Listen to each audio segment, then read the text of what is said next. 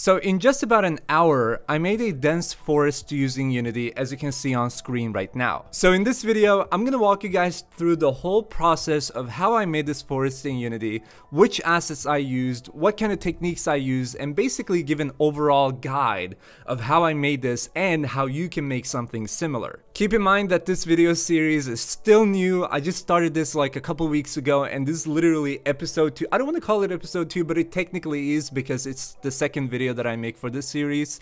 So it's I'm basically open to feedback. What is what I'm trying to say? Like I'm all ears if you guys have any suggestions or ideas on how I can improve this series and help you guys better. So let me know in the comment section if you guys have any suggestions and if you have any questions about level design or this video or anything else related to game development really um, because we're a whole community that love to help each other out and we also have a discord server with over 10,000 like-minded game developers. Overall it's a fun community to be part of, so if you guys want to join us, it's completely free. Make sure to click the link in the description of this video. And also, this video is brought to you by Jason Weimann. Jason is an instructor and a developer who's made the incredible Unity Masterclass.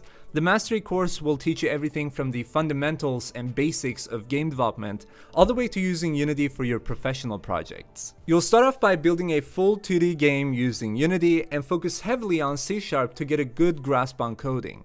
The course will then take you to 3D and even multiplayer. While working on these projects, Jason is going to be showing how to create the fundamentals for each project and one thing I love about Jason's course is that he enables you the option to work along other students and not only that, but he involves one-on-one -on -one interaction between you and himself. You can check out more about Jason's Unity Mastery course through the link in the description. Our link is also set up with a special discount code special to our community, so you will get 60% off the initial price. Now, with that being said, let's talk level design. And then I just started highlighting and sculpting a little bit, basically highlighting wherever I want to have some raises and lower parts of the terrain, where I want to place some cliffs and rocks and stuff like that. And then you will see that I start using a tool called QuickBrush, which is going to be linked in the description of this video. And then I add in grass, and now you'll see that it becomes darker, the grass itself. If you're wondering how I made it, it's basically the post-processing ambient occlusion, which I use in order to basically serve the grasses instead of other other game objects in general. And by serving the grass, I mean it's making the grass more kind of like affected by shadows and casting shadows on each other. Well, makes it seem like it at least.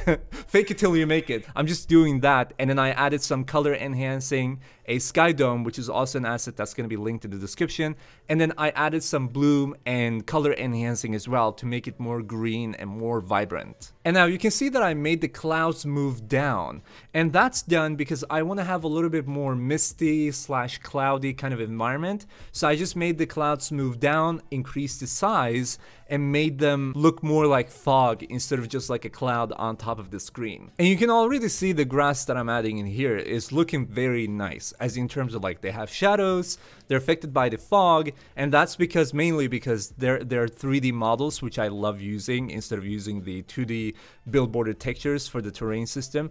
And then I added some cliffs in order to make it more populated around the scene. And one goal that I have with this scene actually, or had, is making it look dense, right? Because even the speed level design video that I made for this was literally titled Dense Forest in Unity. And I just wanted to make it more dense and at the same time remain basically make sure that it remains its performance and is optimized as well. So you can see that I just added some light object, a spotlight onto the rock right here, right? And that's because the, the sun was not doing enough and I wanted to have it a little bit more kind of like highlighted because this rock is pretty much in front of the camera right away.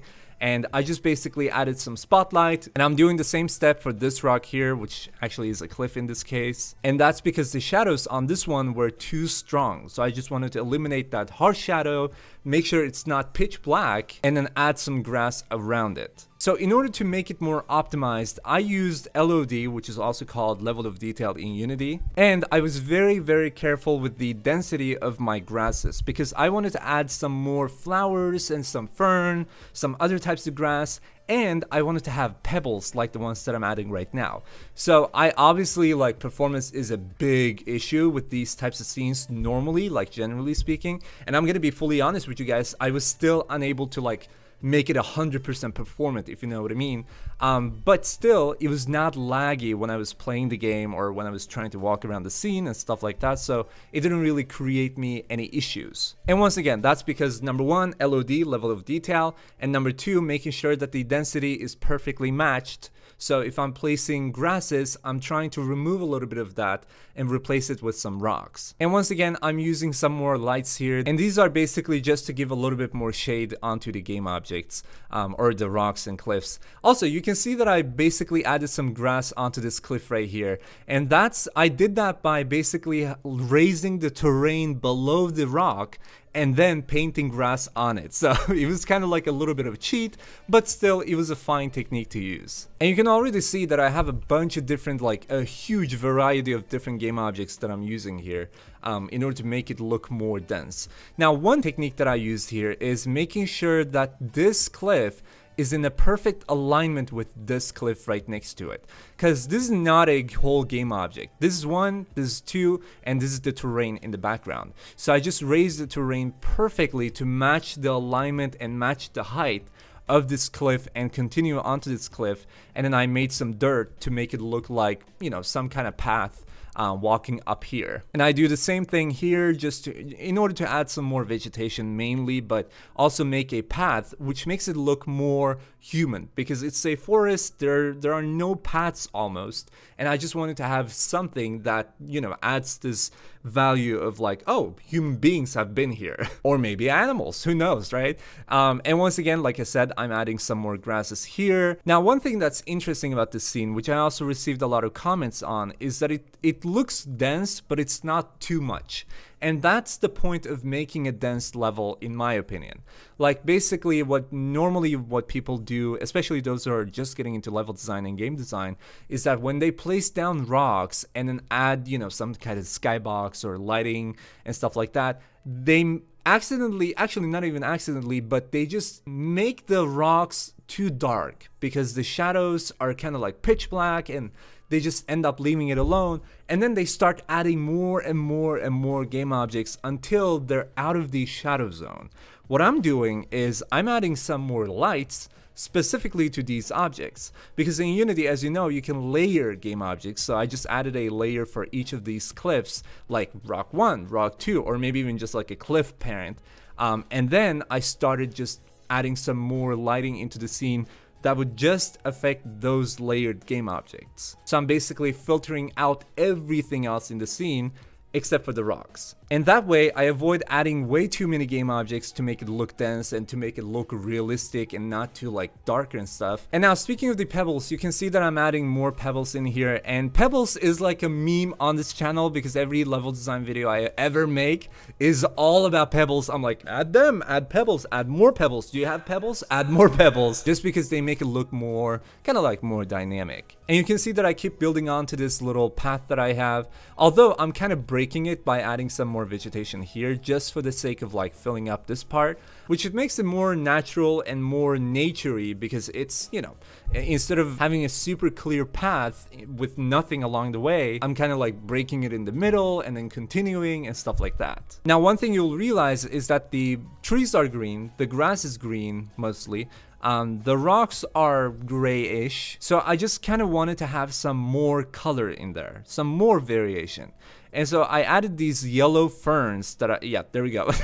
I'm trying to like show it whenever I'm like out of quick brush, but that's not really working out well. so yeah, yellow, a little bit more yellow and just some yellow here. And then I added some bushes that were white flower as well. And once again, that's only because I wanted to add some more variation of color instead of making it look way too green. And that's like one mistake I realized with some people making nature scenes they just make it super, super green. So here we go. This is the full scene. This is what I created in an hour in Unity. Um, I'm not gonna lie, this is not my best level design, but I'm very happy with it because I especially love how I basically made these cliffs. Um, work with the terrain in the background. It really does look super natural. It just looks like these are basically a part of the, the terrain itself, right? And that's what I was meaning to do with this level. I just wanted to see how much of a realism I could achieve personally speaking from my skill level to achieve this. And I was able to, so I'm really happy. A few critical points for myself already from my own mouth. Um, the trees are I wanted I want to say a little too dense and also they're not really like affected by shadows too much. I wish I made the fog affect them less and then added some more shadows in between them. Additionally, I was trying to add some mountain in the background here, but you can see that I kind of failed with something behind the trees. I, I don't even know what I placed there. I think it was like a mountain that I was trying to place, but I didn't really have time to like, you know, I set my time constraint to be an hour, so I tried to respect that constraint, so I just left it there, I think. I may have even forgot to just like edit that or replace it, so it might just be my fault, but anyway, I'm really happy with the result, but yeah, those are pretty much like the few critical points that I have. Um, and one more thing. I was trying to make this mountain look more big as in terms of like covering this area and maybe something here but at the same time i kind of wish that i had more of the blue visible from the sky. And it's kind of like way too gray. The fog was too much. And not only on the trees but they were really like it was really just like a gray sky but there was sun on the ground. So i just don't really like appreciate that. Now for something good though, um, I really love the colors. I really, really, really love the shadows in the grasses. That's like what's making, number one factor that makes this level look real is this part, right? Making the cliffs and then the terrain in the background. It looks super natural. And then number two, the second factor is the shadows on the grasses. I mean, look at this. And number three, I would probably say that the pebbles and some grasses in between those pebbles sticking out. By the way, I spent a lot of time to actually like rearrange the grasses as in terms of positioning um, just to make sure that they're really sticking out in between the pebbles. So as you can see, these pebbles are once again like a huge prefab of different smaller pebbles, but they do have a base, meaning that if I, you know, place them wrong, the grass is wrong or the pebbles wrong, they would basically just cut off the grass and it wouldn't look very nice. But here you can see the full length of the grass, which makes it look more real. This tree, I don't, I don't like it. I should have just like done something else, but once again, time constraints.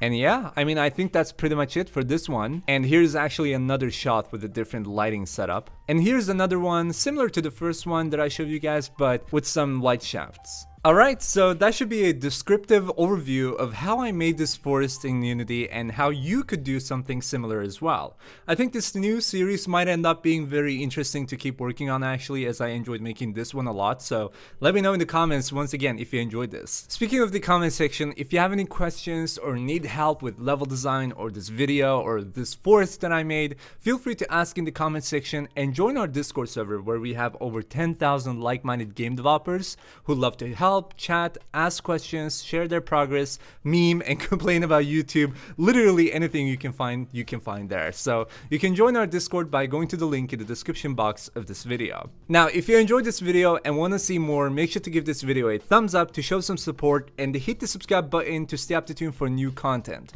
We're going to do a lot more graphics and level design kind of content, including tutorials, so you don't want to miss out. So with that being said, I'm going to be super active in the comment section and in our Discord server, so I look forward to see you guys there. Thanks for watching, have a good night, and peace out. Got these two cups to get two fucked good, good, not one, got two sluts, cause I'm too tough, I get two stuff, let's get real, get raw, get two fucked, I said two cups to get two fucked good, good, not one, got two sluts, cause I'm too tough, I get two stuff, let's get real, get raw, get two fucked.